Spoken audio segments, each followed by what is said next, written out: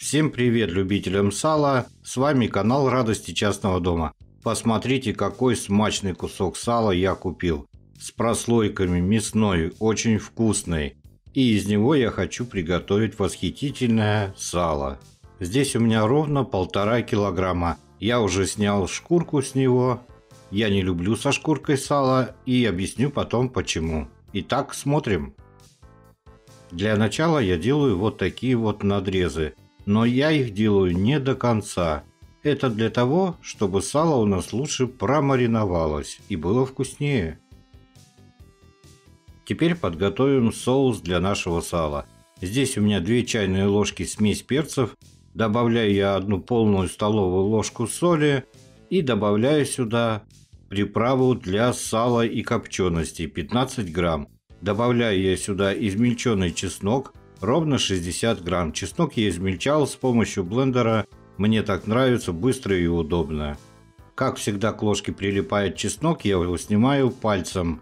Я своими руками никогда не брезгую, готовлю я для себя, не для общепита.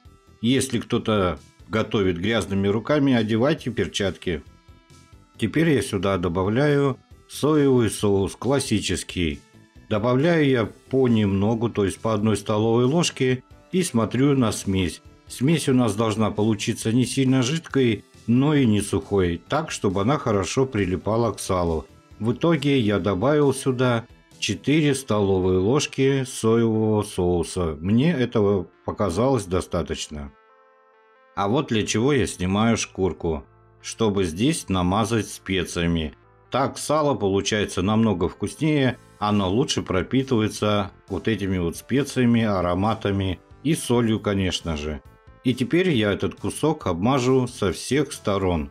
И я всегда делаю так, чтобы сначала обмазать низ, потом переверну, и уже не надо будет его туда-сюда переворачивать тысячу раз. И, как видите, я сразу обмазываю в фольге. Потом, завернув фольгу, уберу в холодильник и продержу его там всю ночь. Чем дольше сало пропитывается специями, тем оно будет вкуснее. Все я обмазал, заворачиваем и, как я и говорил, убираем в холодильник на всю ночь. Прошла у меня ночь, сало я поместил на противень. И теперь убираем его в заранее разогретую духовку до 180 градусов ровно на 1 час. Прошел у меня ровно 1 час на готовность. Проверяем с помощью ножа, протыкаем и смотрим, если у нас нет кровяного сока – то сало у нас готово, так как у нас там есть прослойки мяса.